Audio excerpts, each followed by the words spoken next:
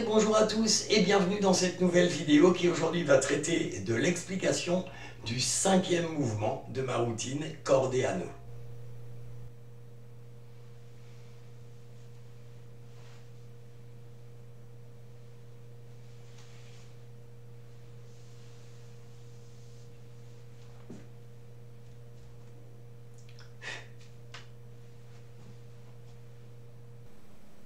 Voici maintenant l'explication de ce mouvement. Donc à la fin du quatrième mouvement, on était ouvert à notre public avec l'anneau sur la corde. Maintenant, on va faire passer le brin qu'on tient en main droite sur la main gauche, toujours euh, maintenu par le pouce.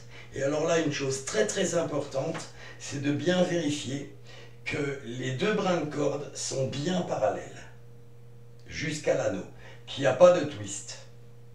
Si vraiment il est torsadé, il faut vraiment enlever tous les twists pour mettre les deux brins de corde parallèles.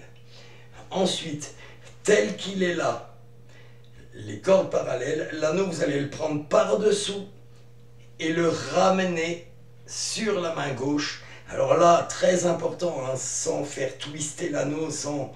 Vraiment, on le prend par en dessous et on le ramène entre les deux cordes sur la main gauche. Une fois que ça c'est fait, la main droite vient ressaisir les deux brins de corde. La main gauche va prendre la corde entre l'annulaire et l'auriculaire et on va lâcher l'anneau. Alors on peut le lâcher simplement ou on peut l'accompagner en le prenant entre pouce et index, main droite. On peut l'accompagner jusqu'en bas. Et là ici, la corde est reprise par le pouce de la main gauche. Maintenant, on a vraiment l'impression que la corde est prise sur l'anneau, que l'anneau est pris dans la corde lorsqu'on fait remonter l'anneau. Mais regardez ce qui se passe. En fait, c'est simplement le pouce qui retient la corde sur l'anneau. Si on enlève le pouce, et c'est ce qu'on va faire avant la réalisation de l'effet, si on enlève le pouce, la corde sort de l'anneau.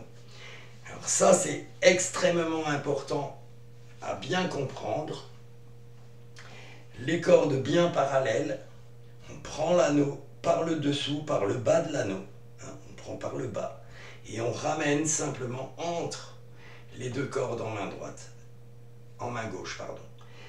La main droite vient saisir les deux brins de la corde, puis la main gauche se dégage de l'anneau en prenant la corde entre l'index, entre l'annulaire et l'auriculaire, et on lâche l'anneau. Maintenant, quand on va tirer sur l'anneau, on a l'impression que l'anneau est pris sur la corde. Maintenant, on a lâché le pouce, vous avez vu. Le pouce est lâché, donc la corde n'est plus dans l'anneau.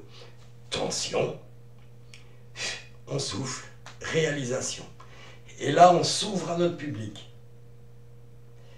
Maintenant, une chose importante, ici, on fait comme on est maintenant, comme ceci on fait passer l'index pour faire passer les brins de vent. Et on pose l'anneau entre les deux brins. Ceci pour préparer le prochain mouvement. Et là, on salue. Et en saluant, on va passer un des brins à l'intérieur de l'anneau. On a préparé ainsi le sixième mouvement de la routine. Voilà, c'était l'explication du cinquième mouvement de ma routine Cordano. Je vous remercie de m'avoir suivi et je vous dis au revoir et à une prochaine vidéo. Ciao